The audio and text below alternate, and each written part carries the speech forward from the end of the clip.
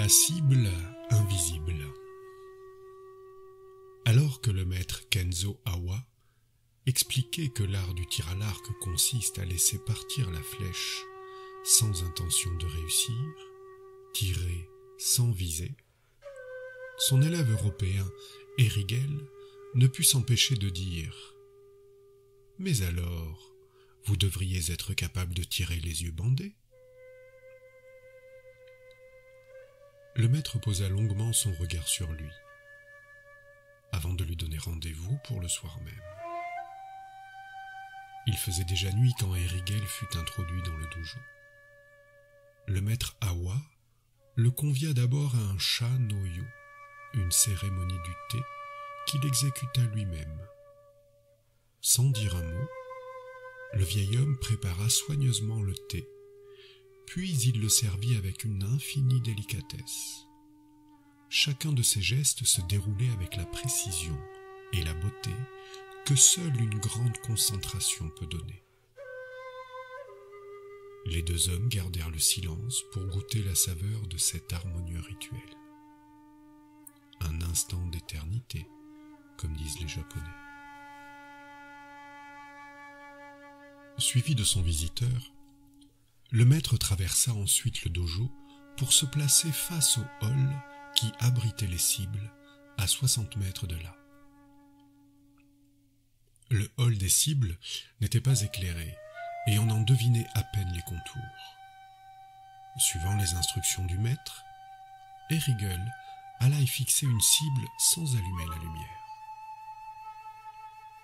À son retour, il vit que le vieil archer se tenait prêt pour la cérémonie du tir à l'arc.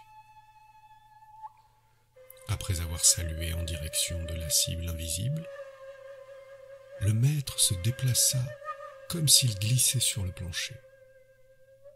Ses mouvements s'écoulaient avec la lenteur et la fluidité d'une fumée qui tourbillonne doucement dans le vent. Les bras s'élevèrent, puis s'abaissèrent. L'arc se tendit tranquillement, jusqu'à ce que la flèche parte brusquement. Elle s'enfonça dans l'obscurité. Le maître resta immobile, les bras suspendus, comme s'il accompagnait la flèche vers sa destination inconnue, comme si le tir continuait sur un autre plan. Puis, à nouveau, l'arc et la flèche dansèrent dans ses mains. La seconde flèche siffla à son tour et fut avalée par la nuit.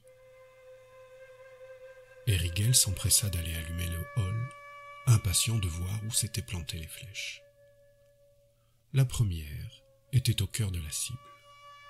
La seconde était juste à côté, légèrement déviée par la précédente qu'elle avait touchée et dont elle avait fait éclater le bambou sur plusieurs centimètres. En rapportant la cible, Erigel félicita le maître pour son exploit. Mais celui-ci répliqua Le mérite ne m'en revient pas. Ceci est arrivé car j'ai laissé quelque chose agir en moi. C'est ce quelque chose qui a permis que les flèches se servent de l'arc pour s'unir à la cible.